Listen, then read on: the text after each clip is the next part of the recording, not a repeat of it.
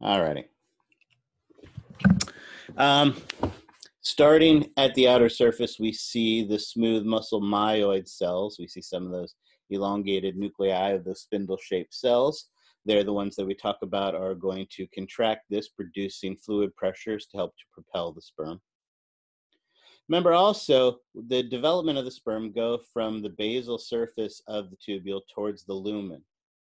And notice also that the largest cells aren't the ones at the border. Remember these cells at the border, notice some of them can be large, but remember these are our stem cells. These are our spermatogonium. No, uh, you should do the histology because it is important, but I'm not giving you extra credit for doing the histology for this one. Again, at some point, your grades do have to be based on what you guys actually do, so I can't just keep throwing around uh, extra credit. I wanted to do that there, but this is more just for educational purposes to help you to be successful on the exam. Remember, these cells at the surface are the basal cells, and uh, the, and these basal cells are the stem cells, the spermatogonium. And as spermatogonium, their job is to divide rapidly. So occasionally you see a large cell because it is just about to get ready to divide or even in the process of dividing. But typically, this outer surface cells are smaller because typically they are more constantly dividing. Where you typically see the largest cells, and notice also they have the most amount of DNA in them, are those primary spermatocytes. The primary spermatocytes are the cells that are the largest typically in our seminiferous tubule because they're the ones that still are uh, haploid. They're 2 and R, in fact, at this point, because they are getting ready to divide. Because when they divide, they're going to split their material into two smaller secondary spermatocytes. And then, of course, those secondary spermatocytes divide into the much smaller um, early spermatids, right? The sperm shape, uh, pardon me, the cell shape of spermatids, which are the early spermatids. So we can see that change in size and change in location as they work their way through the lumen. And we can see that in lots of examples here. Notice the nice one about this one is we're also starting to see some late spermatids where we can actually start to see the flagellum coming out of them. The heads are starting to elongate so we can see head formation and tail formation that is occurring here. However, what, uh, and again, we can see those clearly see the stem cells at the border where the myoid stem cells are, uh, and then the much larger uh, primary spermatocytes into smaller secondary spermatocytes into the early spermatids and then the late spermatids. But the reason I put this slide here that I like it a lot is because remember the other thing that is in here besides developing sperm are these cells here. And these cells here are the nurse cells. Notice again, as we talked about, they have elongated, sometimes triangular, sometimes diamond shape. So these distinct elongated nuclei. Uh, these are those, again, nurse cells, Sertoli cells, or sustentacular cells. All of those are acceptable terms for uh, these cells that we see very nicely and very clearly on this one here. And then, of course, again, we see the division. Notice this one doesn't show the myoid cells quite as nicely, uh, but this particular stain really does a nice job of showing those flagella of these uh, late spermatids as they're working their way towards the lumen. And so I thought this was a really nice view as well. And again, we can still see, again, find the basal surface. That is where you're going to find the spermatogonium. The large cells that are just in from those are the primary spermatocytes. I would say it's probably hard to distinguish what's secondary and what's early spermatid in this particular view, which is why I didn't start with it. Uh, but this particular stain, I think, does a really nice job of showing those organelles that are the flagellum. And the other reason I showed this is because one of the two tissue types that in males you will get confused between is going to be the epididymis and the uh, seminiferous tubule. And again, some of that is fair because they both contain sperm inside of them. However, the difference is in our seminiferous tubules, we are forming the sperm. So notice we see flagellum deep within the tubules. We also see lots of nuclei very close to the lumen. And those are the two characteristics that our epididymis is not going to share, uh, which is why it is going to allow us to be able to distinguish those when we look at those histologically. Again, here we have sperm, pretty simple and straightforward, basic anatomy to them. They have three main regions. the head, or like we talked about, that is the, uh, you know, contains the nucleus. Uh, we have the uh, body, where we have, the, or the, the, the, the, the mid region, which contains the motor portion of it, the mitochondria, and then we have the flagellum, uh, the tail portion of that as well. The one thing I do want to point out is notice that all of the heads of these are light in color. Again, uh, the reason for that, remember, is that on the apical surface of the head, of the genetic region, we have that acrosomial cap.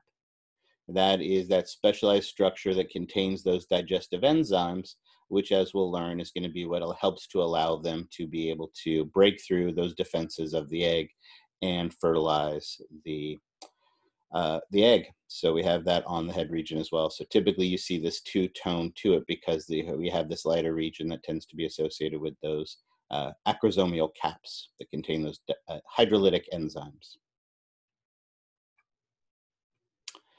Last little bit for our humans, uh, for our males, uh, for uh, is the um, penis. This is not a human penis, which is where I was going with that. Um, we have though, as we know, three regions of erectile tissue. We have, two, and conveniently this picture had labels on it, so it was just super easy to be able to grab it. We have the two corpora cavernosa, uh, and we have the corpus spongiosum. Remember, the corpus spongiosum wraps around a structure that should look fairly familiar because we saw it in the last section, and that is the urethra. Of course, this is the cavernous or penile or spongy urethra because it is contained within the penis. Uh, of course, we know it is lined with a transitional epithelial tissue, except at the very distal tip. At the very distal tip, it is lined with a non-keratinized stratified squamous epithelial tissue, because like most of our mucous membranes that are open to the outside world, we need that protection. So again, if you think of the anus, if you think of the vaginal canal, which we haven't talked about yet, but we will, if you talk about the end of the penis, uh, the end of the urethra, the oral cavity, all of those are lined with that non-keratinized stratified squamous epithelial tissue. But at this point, this would still be transitional. Remember, the other thing that we said is that while the erectile tissue will engorge with blood and make the penis larger, it won't in and of itself make it rigid unless it has a fibrous protective sheath around it basically to restrict it and form that, that rigidity, make it turgid. And that is this structure here. This structure here, which notice also separates the two corpora cavernosus from each other, is that collagen-rich layer known as the tunica albuginea. Again, this tunica albuginea is like a sheath around the uh, uh, around the erectile tissue, so that as it engorges, it pushes against its boundary, and that is where the rigidity comes from. We see a couple different examples of this. Here's another one. Uh, again, uh, none of these are human examples that we are looking at here. Um, but again, we have the urethra, we have the corpus spongiosum around him. Here we have the corpora cavernosum, and notice it's not as distinctly separated. Uh, this looks like a rat or mouse uh, corpus cavernosum. But again, we still have that tunica albuginea that wraps around it, so we can see that distinct layer there as well. And then I think I have one more uh, two more, I lied. Um, this one, uh, again, really nice. These are not my arrows. This is just, these are pictures that I quickly grabbed off the interweb. Again, we have the urethra. I believe this one may be human based on the size of the urethra. Uh, but the other thing that I wanted to show you is we have these uh, eye-looking structures at the center of the corpus spongiosum. Anybody remember what those are called? Deep artery. Yeah, the deep artery, absolutely. It is that deep artery or central artery. Both of those are acceptable terms. Exactly. And this is the one that, as we talked about, uh, is the one that dilates, is the one that is controlled by the parasympathetic nervous system to bring engorgement to this area, blood to this area. And again, a nice distinct uh, tunica albuginea to this as well. One last one I found because it made me giggle. Uh, here, you can see again, they have a penis. We have these areas. And because of the vascularization of it, because of it, they thought it looked like a bear and put barriers on it. Like I said, it made me laugh. It won't be on your exam, but it, I found it humorous. But it shows all of those structures that we need. The last thing for the male, as I mentioned, is the epididymis. uh, four. At least I think that's the last thing that we're responsible for. I, I cheat. I'll be honest. I stopped looking at the list. Uh, yeah, epididymis. Perfect. Remember, as I said, this is probably the trickiest part of this histologically, right? Because if you just quickly glance at this, you may think this this is a testis. I mean, a testis again. This might be seminiferous tubules, especially when you see these things uh, that look like flagellum. But remember, they're not flagellum. This is a very special type of tissue found in this place and this place only. And this tissue is a pseudostratified ciliated columnar epithelial tissue. But remember, what's special about it is that the cilia are non motile. So we've seen ciliated pseudostratified columnar epithelial tissues before, but this is the first one we've seen where these are not motile. It would almost make sense for them to be motile. It would help to move the sperm through them because uh, we know we don't want the sperm swimming. But my guess is that the speed of these flagella would probably, I mean, uh, the speed of the cilia would be too fast, probably, because remember, our sperm has to stay in here for 20 days.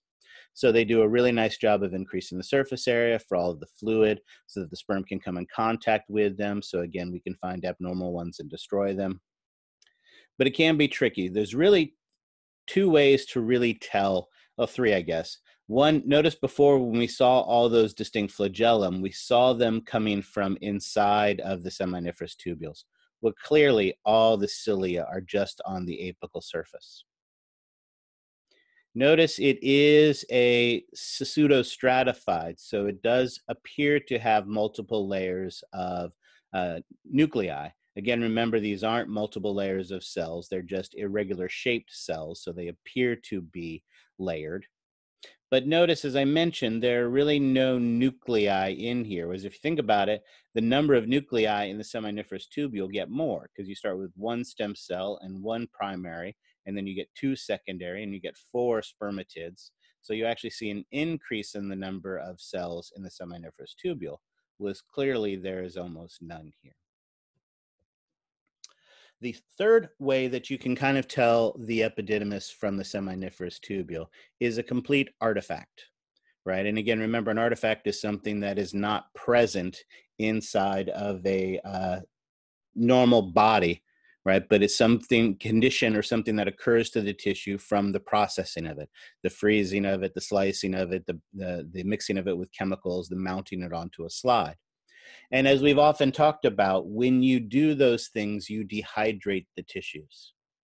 And that's the other kind of dead giveaway for these uh, uh, epididymi. When you're looking at the epididymis, it has and contains sperm and all the fluid that is supporting that sperm inside of it. But when we dehydrate this tissue during the processing, notice all the sperm tend to clump together in the center of the epididymis right? They're not coming out of the walls, they're all clustered together in the center of that. We see this here. We also see it here in a more high resolution, high magnification view. Again, we can nicely see the cilia, but they're just on the apical surface. There are no nuclei near the apical surface. And our sperm are typically tightly clustered together. When we see a teeny bit more of that occurring up here as well. So those are the things that can really help you to distinguish. Uh, and the fact that if you notice, there really aren't any interstitial cells. If there was, right, if there was, if this was the testis, we would have interstitial cells here. We have some other ductules in here, some blood vessels, right? vein, fun things along those lines in here, but we don't really see any clusters of cells like the interstitial cells that you would expect to see. So that's another way we can distinguish it as well. All right. And really, just that simply, that is the male uh, histology. We, we looked at some of this stuff already, and it's pretty simple and hopefully pretty straightforward. All right, questions on any of that? All right, then onward to the female. Um, here we have an ovary. Again, uh, we can see the outer cortex and the inner medulla, where we have the blood vessels and the nerves, and then the cortex, where we have the follicles. And as we mentioned, the anatomy of the follicles are hopefully distinctly different. The other thing you have to remember, the big key to this, is there is a difference between the cell, the gamete, let's say it that way. Oops. Right, there's a difference between the gamete and the follicle. So when we are talking about these, remember to be able to distinguish them. If I just ask you, now I need a pointer back, what this cell is, identify this cell, be specific, what would your answer to that be?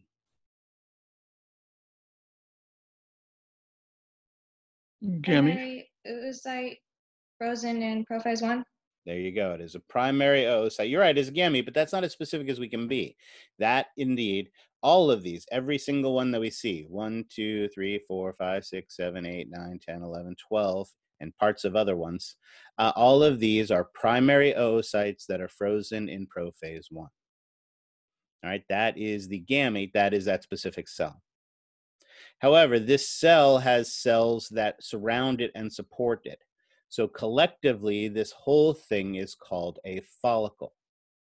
And while the cell inside is a primary oocyte, what kind of follicle is this?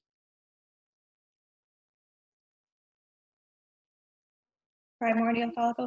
It is a primordial. Excellent. All of these are primordial follicles. So again, primary oocyte, but it is a primordial follicle. Single layer of flat cells wrapped around them. All right. And again, these flat cells essentially aren't doing anything, just protecting, housing, and storing that. It's not till they plump up to cuboidal that they start making our estrogens. Notice also we have a cluster of them together. What do we call a cluster of primordial follicles? Nest. Yeah, we got that nest there. Excellent. Now remember, the beginning of the female cycle, dozens of these start the process of maturing to this state. Notice here again is another primordial follicle. Here is a primary follicle where we have a single layer of cuboidal cells, although you can see it's close to being on its way to moving to secondary stage. This one's got another layer of cuboidal cells, although it's not a, we don't see the nucleus in this one. This was our, only a partial section through it. But here we have an early and a late primary follicle. And of course, these primary follicles contain cells, all three. That's a cell, that's a cell, that's a cell. These three cells vary dramatically in size, but are these cells the same type of cell or different type of cells? The same. They're actually the same, absolutely. This cell in the primary, uh, in the primordial, is still that primary oocyte frozen in prophase one. So here's the one time it matches primary follicle, primary oocyte. However, as you can see, this one's on its way to becoming something like this.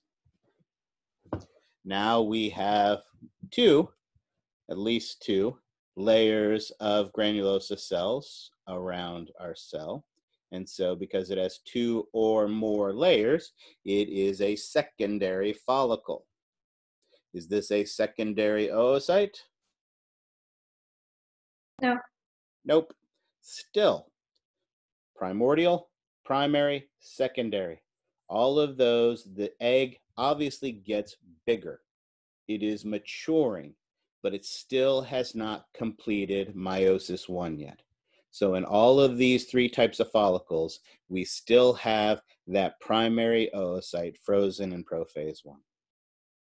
Notice as they also point out, uh, we can more clearly see the formation of the thecal cells here on our secondary follicle. Those are the ones, remember, that make the androgens that then our granulosa cells convert into estrogens. And notice, and again, conveniently enough, I, again, I just grabbed these pictures because I thought they were nice. I didn't care if they have labels. Obviously, the ones on the exam won't have labels. But we also see the formation of our candy-coated shell, that glycogen-rich layer on the outer surface that is our zona pellucidum. Now, at first, we just add new layers of cell around this growing oocyte but the follicle starts to grow faster than the oocyte. So as that continues, we start to see these fluid filled spaces that start to open up because our follicle is expanding much faster than our oocyte is. And these fluid-filled spaces, right, are going to eventually become what we call the antrum.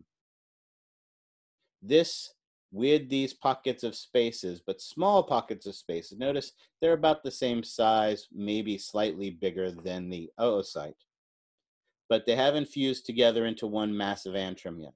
So this is still a secondary follicle. It is a late stage secondary follicle, but it's still a secondary follicle. And that also means then that this is still a primary oocyte frozen in prophase one. And like we talked about, uh, you know, 10, a dozen get to this stage, eight get to this stage of development. This is when they're attriting. This is when the race is on. And only one of them, right? Although I would say actually, I lied. This one I would say is still secondary as well. Notice we're close. We're close to having a full continuous antrum, but notice the space is still about the same size as our uh, primary oocyte. So notice again, here we have a primary follicle, here we still have a secondary follicle. And here, finally, we have our tertiary follicle. Or if you like, you may call it a mature follicle, or if you like, you may call it a Graafian follicle. All of those are acceptable terms. We still have our oocyte. We still have uh, um, our zona pellucida around it. However, now that we are in the tertiary follicle stage, now finally our oocyte has completed meiosis one. So now here for the first time we have something different. Now we have a secondary oocyte frozen in metaphase two. Right. Remember also we still have these granulosa cells, but some form a halo, or you could even say a crown-like structure around the oocyte, whereas some just form the walls of the follicle. And these special cells, again, they're only special by location. There's no difference between that cell and this cell. These cells are doing the exact same thing. The only difference is location. But these happen to be the lucky ones in the right location where they will be ovulated with the egg. And so they help to form part of the protection of the egg known as the corona radiata. Right, because like I said, as we've all learned, corona, if you didn't know before, you know now, corona means crown. All right, and again, that big, huge fluid-filled antrum. Day 14 or thereabouts, ovulation occurs, and that balloon pops. Right here we see some mature follicles, and here we see what remains after ovulation. We have this big, huge collapsed follicle. The egg, its zona pellucida, its corona radiata have been expulsed, but all the cells that stay behind are in the process of being transformed into that massive glandular structure that is the corpus luteum. Notice it starts about the same size of the follicle as these grow, but notice this, uh, this corpus luteum becomes a huge, massive glandular structure. Here in this ovary, we see how large and massive it becomes. And often it will actually solidify and become a large structure. Notice here it still kind of has that follicle shape to it, but it can actually condense down into a big, huge, massive glandular structure. Again, way back here, these are granular cells. These are, let me rephrase that. These are glandular cells, and these are glandular cells. The difference is this just produces one class of hormones, estrogens, whereas this produces two classes of hormones, right? These produce estrogens and progestins. Of course, as we know, this gets big, huge, and massive, releasing massive amounts of estrogen and progesterone. But those estrogens and progestins, they uh, inhibit the luteinizing hormone production and release. And so as that uh, is as, the, as luteinizing hormone levels drop, our corpus luteum shrinks until oh, I thought I had it. I thought I had a uh, I thought I had a corpus albicans. Interesting. Oh well, these are. There you go. Notice these structures over here very clear, very white in appearance. These are some examples of some corpus albicans. It basically looks like whitish, shriveled up scar tissue. It's not dark. The darkness is from the granulars that's producing from producing the hormones, from being glandular. It is no longer glandular. So we have these light, uh, clear, uh, uh, scar-like looking pieces of tissue, and that is that corpus albicans. All right. I think we did a decent job of talking about that when we did the ovarian cycle, but I'm happy to go over it again. Any questions on that?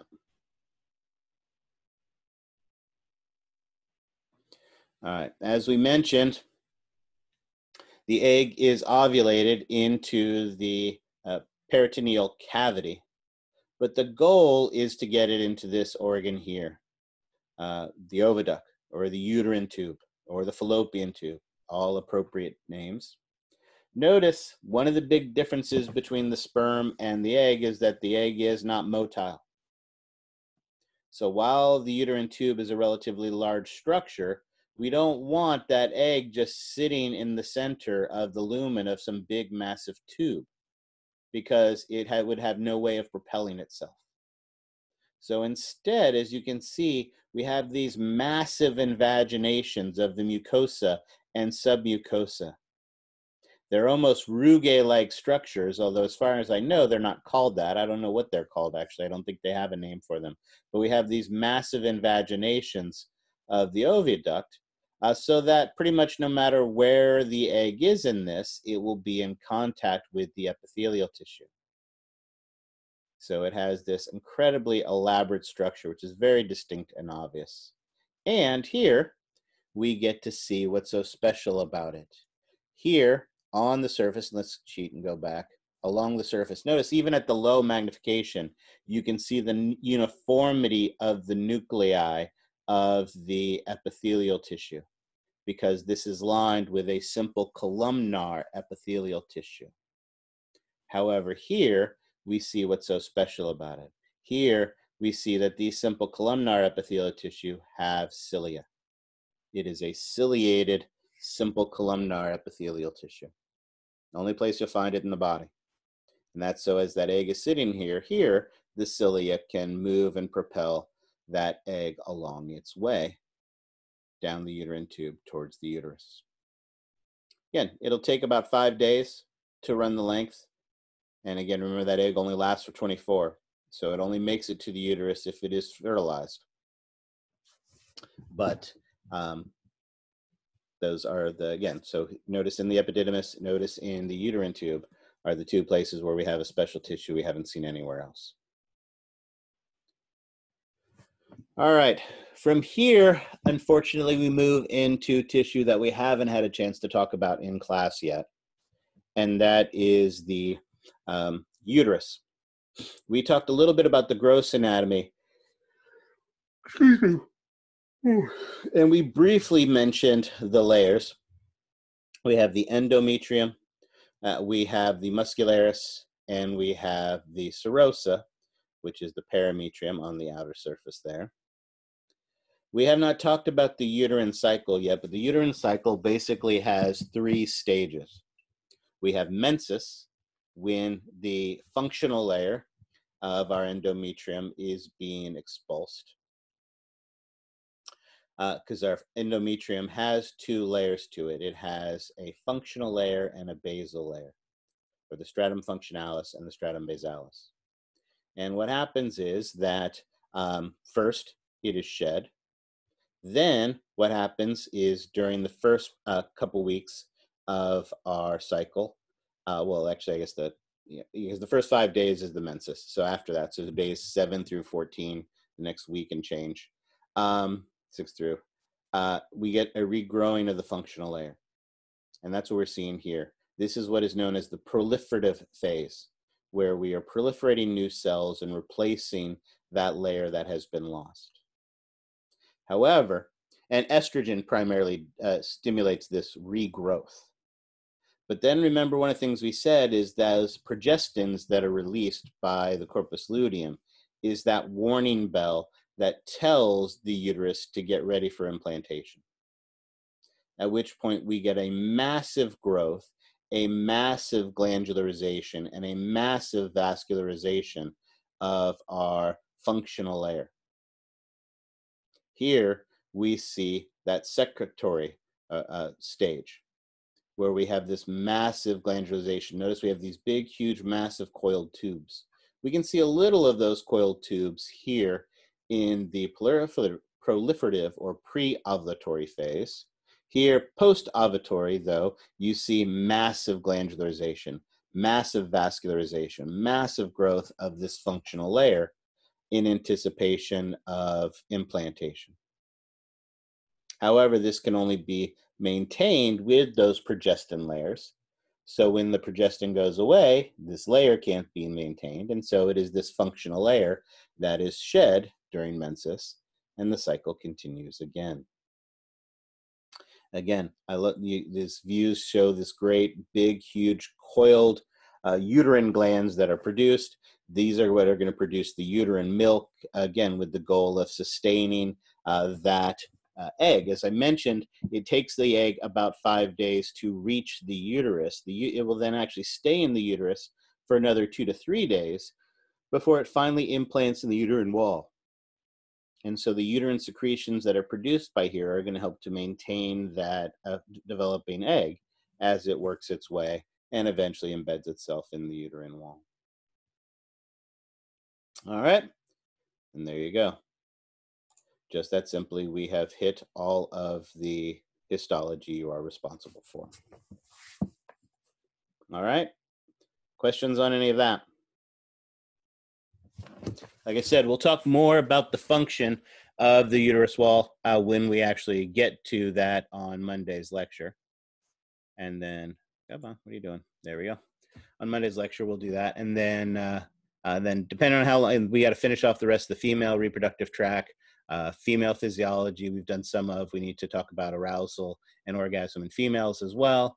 And then um, from there, depending on how much time's left, we'll see how much of the uh, development and hereditary stuff we can get into. I don't want to cram too much stuff in because you guys have a test two days later. Uh, but uh, there, and again, literally, literally, there are entire semester long classes on development and inheritance. So obviously, that's not something that we can shoehorn into, you know, an hour of time. But but we'll talk a little bit about stuff. Maybe we'll talk about the point of fertilization or something along those lines. We'll see. We'll see where we're at time wise and how we feel from there. All righty. You guys have been awful quiet. Any questions on any of that?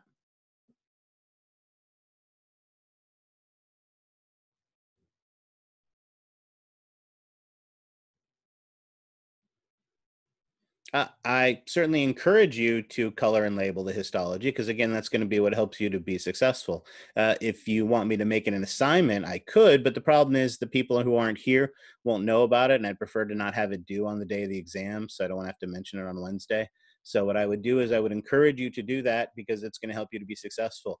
Uh, my guess is that histology will be, I don't know, 25%, a third of the uh, a third, maybe a third. You could think of it maybe, yeah, I'd say probably a third male, a third female, and then a third histology. That seems like a uh, a reasonable breakdown of what the the lab exam might look like.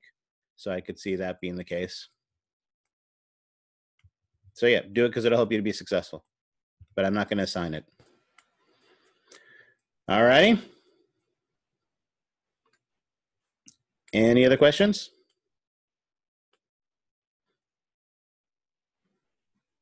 All right. Well, then in that case, have a good day. I will see you guys Monday for our last lecture. Uh, this, uh, in some ways, this semester feels like it's gone by so super slow. In others, it feels like it is just raced by. But either way, it's been memorable. And so, uh, um, let me go ahead and